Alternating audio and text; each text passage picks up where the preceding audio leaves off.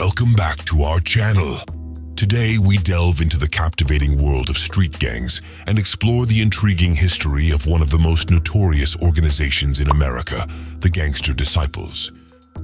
Prepare to be taken on a journey through time as we unravel the origins, growth, and impact of this influential street gang. Let's dive in. In the late 1960s, the gang was formed on the streets of Chicago, Illinois. Larry Hoover, who was also known as King Larry, and David Barksdale started it. They each started the Black Disciple Nation, BDN, and the Black Gangster Disciple Nation, BGDN. Larry Hoover was a dynamic leader who tried to bring together different African American street gangs to fight racism, oppression, and social and economic problems in their neighborhoods. In 1969, the Gangster Disciples were formed when Hoover's BDN and Barksdale's BGDN joined together. As their sign, they chose the six-pointed star, which stands for love, life, loyalty, knowledge, understanding, and wisdom. The gangster disciples grew quickly and had a lot of power and people in the 1970s and 1980s because they had a clear goal and strong leadership.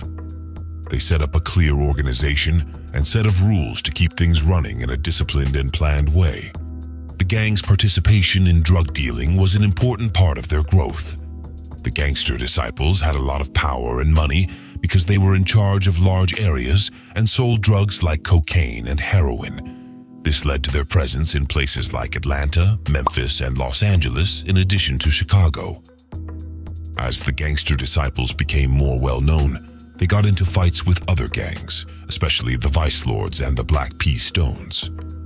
Most of the time, these disagreements turned into violent fights over land, drugs, and power. After David Barksdale died in 1974, there was a feud between the gangster disciples and the black gangster disciples that went on for years. This was one of the most well-known fights in gang history. The split caused a deep rift in the organization, which led to years of fighting and violence between the different groups. As the gangster disciples grew, law enforcement agencies also paid more attention to them. Their criminal actions caught the attention of the police, which led to many arrests, trials, and sentences. Under the racketeer-influenced and corrupt organizations, RICO Act, Larry Hoover, the head of the Gangster Disciples and the group's founder, was found guilty in 1995. He got a life sentence without the chance of release, which took him out of the leadership of the gang. Even though they get into fights and do things that are controversial, the gangster disciples also try to help their neighborhoods and bring about good change.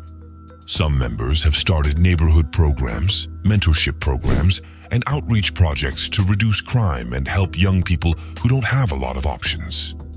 Through these programs, former gang members have tried to make amends and change, and they are using what they have learned to keep younger people from following in their footsteps and getting involved in violence and crime. The gangster disciples still have a strong presence in a number of places today, though their impact is much lower than it once was. Even though they still do bad things in some places, some of their members have moved on from the gang life and are trying to make things better. It is important to keep in mind that the gangster disciples have a long and complicated past. Even though they have committed crimes and helped keep violence going in some neighborhoods, it is important to understand the structural problems that lead to the formation and growth of street gangs. The past of the gangster disciples is a complicated and interesting story that shows the battles and problems that underrepresented groups face.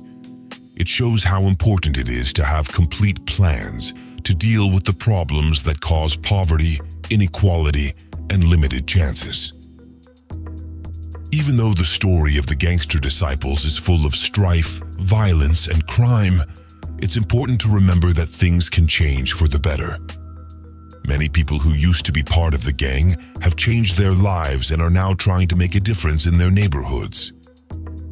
As we learn about the past of street gangs, it's important to do so with compassion, understanding, and a desire to find answers that stop the cycle of violence and give people a chance to grow and develop. Thank you for joining us on this journey through the history of the Gangster Disciples. Remember to like, share, and subscribe to our channel for more thought-provoking content. Stay tuned for our next video where we delve into another fascinating chapter in history.